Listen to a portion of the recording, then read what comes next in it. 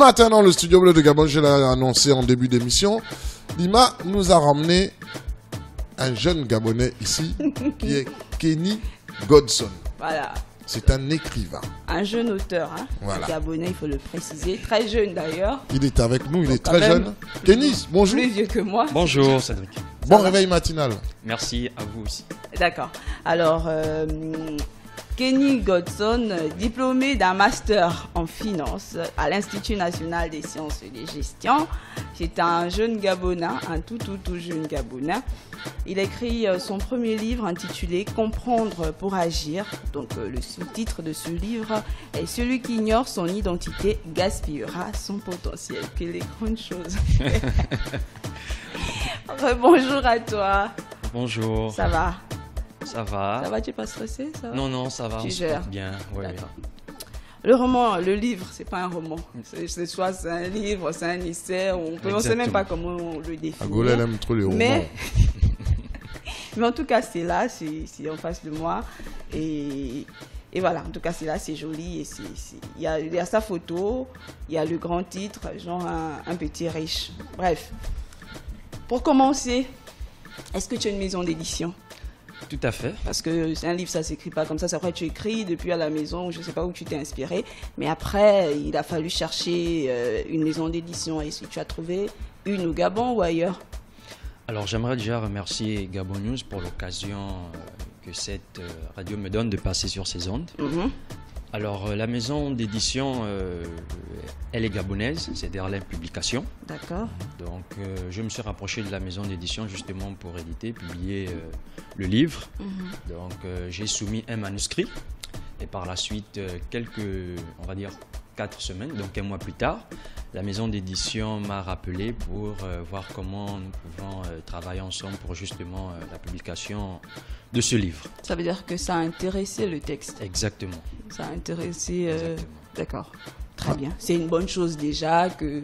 Est-ce que tu, tu travailles tout seul ou bien il y a une équipe derrière toi? Tu t'es levé tout seul, tu as pris une maison d'édition comme ça au pic ou bien tu as dû déposer ici et là Non, je me suis renseigné, Mhm. j'ai cherché, Mhm. voilà, une maison d'édition. Mhm. J'ai euh, contacté des gens et d'autres m'ont dit essaie de voir là-bas, essaie de voir telle maison d'édition. euh, Et c'est celle-là qui t'a répondu cadre. Oui, c'est elle qui m'a répondu. Bon, j'avais, euh, étant un peu nouveau dans le domaine. euh, Étant nouveau, pas un oui. peu, hein. je suis très nouveau.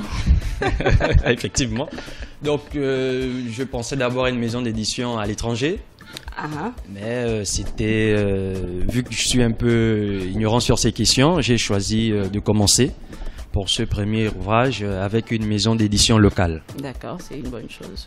Alors, je vois ici que tu es diplômé, et pas n'importe quel diplôme, tu as un master en finance et pas de n'importe quelle école de l'Institut de gestion. Tout à fait. Comment est-ce que tu quittes de la finance euh, pour te retrouver à écrire un livre? Est-ce que tu c'était le chômage qui t'a fait écrire, qui t'a inspiré ou bien qu'est-ce qui s'est passé? Pas Raconte. du tout, c'est pas le chômage. Ce d'autant plus que l'écriture de ce livre date de 2018, 2017, 2018. Tu étais encore à l'école. Oui, euh, j'étais en stage dans un cabinet d'audit. Price, pour ne pas le citer. Mhm. Voilà, donc euh, je me posais un certain nombre de questions sur la société, même sur moi-même. Dans le livre, je parle beaucoup du docteur Miles Monroe, Mhm. parce que c'est un homme qui a répondu à certaines de mes questions. Je me- comme question, je me demandais, mais pourquoi on est sur la Terre Pourquoi on est noir Pourquoi on est africain Pourquoi Dieu a choisi que je puisse naître au Ça, ça a Gabon tout à voir avec la philosophie, ce genre de questions. bien c'est Effectivement. le christianisme? Pas forcément le christianisme, Mm. pas forcément. Parce que lorsqu'on commence à s'interroger sur son être, sur le but de sa vie, soit tu t'interroges par rapport à la philosophie, Exactement. soit ce sont des, hein. des- Ça, questions chrétiennes. Ah, ce sont les choses des initiés. hein. Ce qui est certain, euh, tout partait aussi de ma philosophie de la vie, ma façon de penser. D'accord Voilà. Je, j'estime que chaque être humain est porteur d'un changement dans un secteur bien précis au moyen de son potentiel. Ce que les chrétiens disent, t'as- t'as- tu as ta mission sur terre. Exactement. Ton don, Voilà. en fait. Exactement. D'accord. Voilà. Il y a, euh, on est là en train de dire la même chose avec des mots différents. Mhm. Voilà. Mhm. Donc, euh, dès l'instant où j'ai pensé comme ça, Et c'était quoi le déclic pour que tu commences à t'interroger, papa? C'était pas mieux que tu ailles à l'école et J'étais étudiant, j'étais étudiant, Ah. j'avais la bourse, j'étais en stage, j'avais une prime de stage. En fait, tu avais quand même le, mi- le- le minimum. Voilà. Après, tu te demandais à quoi est-ce que ça va me Voilà, servir. je en n'étais pas réalité. épanoui en fait. Je n'étais Ah. pas épanoui. D'accord. J'avais, j'estimais que je vivais dans un carcan de la société. Mhm. Je ne pense pas que la vie se résume à avoir un emploi, avoir des enfants, se marier. Non, c'est du classique. Ouais. Je ne pense pas qu'on est sur la terre juste pour répondre pour- à cette question. Mhm. D'ailleurs, je dis souvent à mes amis que, en réalité, on cherche pas le travail. Mhm. On cherche l'argent par le moyen du travail. Ah. C'est ce que Si je dis souvent à mes amis. Si c'était plus On simple vit dans d'avoir cette de société, l'argent, euh, voilà. on ne devait pas travailler. Voilà. Et j'estime que ce n'est pas ce qu'il faut faire, justement. C'est vrai que pour un début, on, on a tous besoin d'argent, ça c'est certain. hein. Mhm. Je ne suis pas en train de dire que l'argent n'est pas important.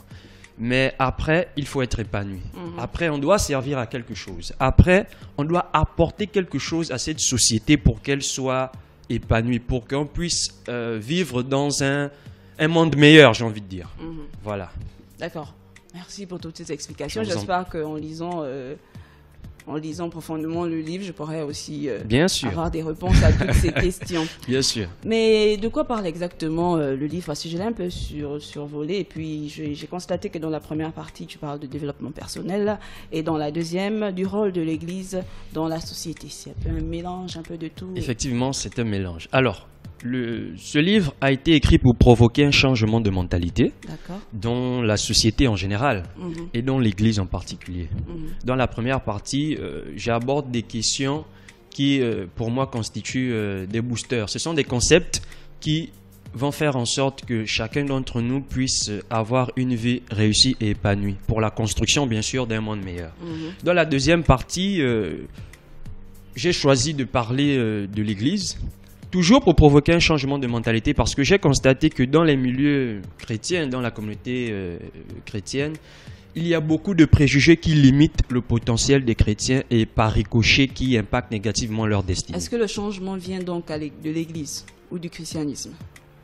Le changement, selon moi, ne vient pas forcément de l'Église. Bah, je pense qu'il faudra aller fouiller le livre pour avoir la réponse. Effectivement. Ah. Effectivement, mais on pourra en discuter euh, tout à l'heure. Tout à Sur le hein. plateau, bien sûr. Ah, tu vas, tu vas venir, nous, tu vas nous sensibiliser aussi. Ah, c'est ça. Alors, moi, moi j'aimerais bien comprendre, là, comprendre pour agir euh, celui qui ignore son infidélité. Non, non, non, pas Ah, du tout. Son identité, C. Ah, son, ah, ah, ben, mm, Bien que tu es fidèle. Hein? ah, son identité gaspillera son potentiel. tout. Tout à fait. Alors, euh, qu'est-ce que, qu'est-ce que, déjà, toi, dès le départ, tu sous-entends par identité? Ah, C'est quoi l'identité pour toi de quelqu'un? Parce que moi, je suis le Big C. Ah, c'est mon identité. Ouais. J'ai pas besoin de dire que moi, je suis chrétien. Non, moi, je suis le Big C. C'est mon Ouais. identité. Ouais. Ah, mon identité, personnellement, c'est défini par mes machines. D'accord. Ah, D'accord. Je connais un peu mon identité. Je sais que voilà, ça, euh, je peux mettre en valeur mon potentiel à travers ces machines. Exactement. Bon, mais derrière ça, j'ai d'autres choses. Bien sûr. Hein, Bien que j'ai sûr. pas besoin de dévoiler à tout le monde. Exactement. Alors, toi, comment tu définis l'identité de l'être humain? Peut-être euh, déjà. Est-ce que tu penses que c'est personnel, en fait, l'identité de quelqu'un? Ou bien euh, c'est quelque chose de global? Moi, je vais dire, exemple, que les chrétiens, les catholiques, ils ont tous la même identité parce que tous doivent prendre la communion, tous doivent euh, faire le carême, tous doivent. Est-ce que toi, tu vois ça en mode général ou bien assez personnel, C'est propre à chacun. propre à chacun Je dirais que c'est propre à chacun. Propre à chacun. hein. N'empêche que cette identité euh, doit vous amener justement à être utile à la société. Ah ouais, Lorsque vous êtes derrière vos machines, vous apportez quelque chose de bon aux auditeurs. ouais. Voilà, donc votre identité se trouve aussi dans ce que vous faites. Ah, tu penses que j'apporte quelque chose de bon? Bien sûr. Oh, mais ça me sûr. fait chaud au cœur. Bien sûr. évoluons, évoluons. Ça me fait chaud au cœur. Merci, hein. Merci, hein. Big up à toi. Bixi. Big up à toi. Ouais. On revient sur le livre. C'est bon pour ton identité Oui, c'est bon. C'est bon, mon Parce que tu as eu identité. ton Atalakou, ça te va. Oh, c'est bon. On revient, C'est bon. on revient sur le livre. D'accord, nous revenons. Mhm. Et dans la deuxième partie, euh, je disais que tu parlais du rôle de l'Église dans la société. Et on a un peu l'impression, bon, j'ai un peu l'impression que tu t'attaques à l'Église lorsque tu parles d'argent et de prière. Par exemple, à la page euh, euh, 67, Oui. je cite, hein, Oui. la prière ne rend pas riche. C'est une erreur de penser que si je prie beaucoup, je serai riche. Si la prière rendait riche, l'homme le plus riche serait un pasteur. Euh, aussi, à la page 69, c'est écrit Un païen qui travaille vaut mieux qu'un chrétien paresseux et qui prie beaucoup. C'est une attaque là. Non, ce n'est pas une attaque. Dans la Mais en partie. priant, tu peux demander la prière. En priant, tu peux demander l'argent. t'as non. mort, t'as mort. Attends. Hmm. J'espère que Lambert à l'écoute. Je pense, qu'il a l'écoute. Alors, euh, dans la deuxième partie du livre, comme je l'ai dit, euh, je parle des préjugés de l'Église, des Mhm. fausses idées que nous avons reçues, nous qui sommes euh, de la communauté chrétienne. Des fausses, des, des fausses Des- oui, oui. des- qui, qui proviennent de la Bible. Non, pas de la Bible, justement. Ah. Pas de la Bible. On de a- quoi? De l'enseignement?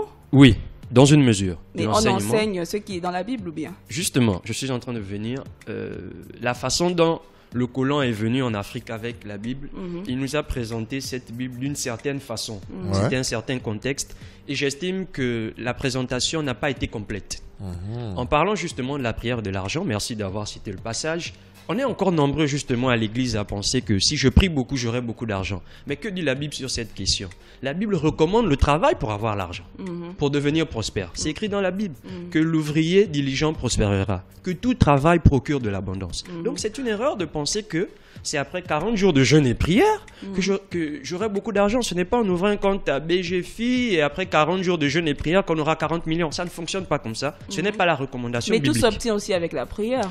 Non, je ne pense pas qu'il faut présenter la chose ainsi. Tout ne s'obtient pas que par la prière. Et dans le livre, je le dis, les miracles ne sont pas la norme sur la terre. C'est une erreur de penser. Vous ne verrez jamais un pasteur, lorsqu'il a faim, il impose ses mains au ventre et il dit J'ordonne maintenant que mon ventre soit rempli de patates, de manioc et de nkoumou. Mais il Ça ne fonctionne pas comme ça. prier pour avoir euh, quelqu'un qui l'apporte à manger. Oui, Jésus, vous allez me prendre le passage de Jésus qui a prié pour pas, la multiplication pas, des c'est pas pains. ce que j'allais dire. Mais ça, Non, rejoint, non. ça rejoint un peu ce que Jésus a fait. Non, on peut avoir quelqu'un qui pense à nous, qui nous envoie un artel monnaie. Ça, c'est avec la prière que c'est arrivé. Ah, ah. Ça, c'est c'est très Pardon. discutable. Et même si ça arrive, ce n'est pas la règle. Ça devrait être une exception. Ça devait être une exception. Mhm. Voilà. Le même Jésus qui a multiplié les pains, d'accord C'est le même qui a maudit le figuier parce que le figuier n'avait pas les fruits, les figues. Ouais. Donc vous comprenez que le, le- le miracle, ce n'est pas la règle. Ce n'est pas la règle. C'est ce qu'il faut comprendre. Donc, euh, euh, lorsque vous voulez construire une maison, pour terminer sur euh, cette euh, phrase, le miracle n'est pas la norme sur la terre, vous n'allez pas acheter des briques et des ciments, ensuite imposer les mains sur les briques. Il faut travailler, il faut connaître. Et les gens qui construisent même les églises ne sont pas forcément euh, des personnes chrétiennes. Ouais. Vous comprenez que la Bible recommande le travail. Un peu plus loin dans le livre, je réponds à la question pourquoi Dieu n'a jamais dit à Adam et Ève de prier? C'est quand même étonnant, il faut se poser cette question. Ouais. Vous allez comprendre que on est sur la terre pour le Mais travail. peut-être que la Bible n'est pour la pas aussi complète. Peut-être qu'il y a des parties manquantes aussi. Je pense qu'on a mal compris. Parce que moi, je l'ai relu, de Genèse à Apocalypse. Je ne dis pas que je connais tout. Je ne dis pas que je connais tout. Ah, relu. Mais j'ai relu la Bible avec une autre approche. Ouais. Et je, et je me suis rendu compte que lorsque Dieu a créé l'homme, il dit qu'il domine sur la terre, sur les eaux, sur les poissons. Il n'a pas dit, moi ça m'étonne, il n'a pas dit à Adam et Ève de prier. Je ne suis pas en train de dire qu'il ne faut pas prier. Si la prière était inutile, Dieu n'allait pas nous, nous exaucer. Cependant, je fais le constat que parfois on demande à Dieu dans la prière ce qu'il attend de nous. Donc euh, il y a une erreur. Il y a une erreur qu'il faut rapidement corriger. Sinon, beaucoup de personnes à l'église ne vont pas réaliser ce pourquoi ils sont nés sur la terre. Et ça, c'est un sérieux problème. Ouais, Ils vont être comme Lambert en fait. Euh, on va aller très rapidement et je reviens encore sur la première partie. Je vous en prie. Euh, au chapitre 4 où tu parles de l'homme et de la femme et tu, tu mets tu défends un peu tu te mets en tant que défenseur de, de la, La cause femme. féminine parce qu'on a très souvent entendu que la femme c'est le diable c'est la femme qui a euh, emmené le péché dans le monde La parce qu'elle a mangé la pomme et toi tu viens plus ou moins dire le contraire de ce, qui a, ce que nous tous on a lu hein, dans la Bible, à part la partie où on dit que la femme c'est le diable. Ça, j'ai pas lu ça quelque part. D'accord. Déjà, c'était pas la pomme. Il faut rapidement corriger ça. C'était pas la C'était pomme. le fruit de l'arbre de la connaissance Ah. du bien et du mal. Ok, c'était un fruit, mais on, a nous a... suivi Superbook. On a suivi Superbook. C'était la pomme Voilà, à l'intérieur. Allez-y c'était comprendre. Alors oui, euh, j'estime que il faut corriger rapidement ce préjugé dans Mm. notre société. Vous voyez, je, je ne présente pas la Bible de façon classique. Dieu a tant aimé le monde. Non, non, non. Je pense que la Bible répond à beaucoup de nos questions, à beaucoup de nos préoccupations sur la terre. Mhm. Alors, dans la société africaine, on pense que, moi j'ai entendu ça, la femme c'est le diable. Et un peu plus loin, j'ai même entendu que si Satan est occupé, il vous envoie la femme. Ça c'est grave. J'ai relu la Bible. Encore, Encore, parce que c'est, c'est ma source d'inspiration. d'accord. Tout le livre, vous allez retrouver beaucoup de versets bibliques. C'est la question que je voulais te poser. Ah, Quelle était ta source d'inspiration en fait j'ai relu la Bible et je me suis rendu compte que, ah, mais, mais moi j'avais compris, euh, j'avais mal compris beaucoup de versets. Mhm. Je me suis rendu compte en fait que quand Dieu crée la femme, il dit, il va faire une aide semblable. Mhm. Déjà, euh, pour aider quelqu'un, il faut qu'il fasse quelque chose. Exactement. Ça, c'est le vrai. travail. Adam travaillait Dieu quand il a créé l'homme. Il dit à Adam, tu vas cultiver le jardin. Mhm. Adam, Adam était occupé. Exactement. La femme est venue pour l'aider. L'aider. Et lorsque j'étais à l'école, je pense que tous les auditeurs aussi euh, ont vécu cette expérience. Lorsque j'étais à l'école et que j'avais besoin d'aide, je me tournais toujours vers quelqu'un de plus fort que moi dans la matière dans laquelle je sollicitais de l'aide. Mhm. Vous vous rendez compte Si j'étais nul en mathématiques, celui qui m'aidait en mathématiques était plus fort que moi en mathématiques. Ouais. Je suis en train de dire que lorsque Dieu a créé la femme, pour moi, la femme est plus forte que l'homme. Je suis désolé. Oh, j'ai envie de dire Amen. J'ai envie d'applaudir, mon Dieu. J'espère que que ça l'homme- ne pas que tu Alléluia. reviens ici. Pas, Amen. pas forcément sur le plan physique, Tu as tout dit. mais la femme, Non, sur- tu as tout dit. quand je relis ce verset, je me rends compte qu'elle est plus forte que l'homme. Ou encore, elle est d'une force égale à l'homme, mais pas forcément la force physique. Mais nous, on nous a fait croire que l'homme est le chef de famille. Et comme tu es le chef de famille, tu dois être le plus fort, le plus intelligent, le plus diplômé, Ouais. celui qui a le plus d'argent. Non, non, non. Ce livre corrige ce préjugé. Oh. Voilà, je vois la femme comme une matière première. L'homme a besoin de cette matière première. Je vois la femme comme le cacao. Et si je veux euh, consommer du chocolat, je prends, euh, du- du- du- je prends la femme, je prends le cacao, je transforme et je, voilà, je, je consomme mon chocolat. Voilà. Bon, attends. Là, Non, Big là, C, il là, a tout dit. honnêtement, On va revenir. on va, on va d'abord se calmer. On va, on va aller sur. Tout de euh, suite, hein, séance tenante. Oui, On est là pour ton livre, bien sûr. mais d'avance, je t'invite. On va discuter de ce que tu viens de sortir de ta machine.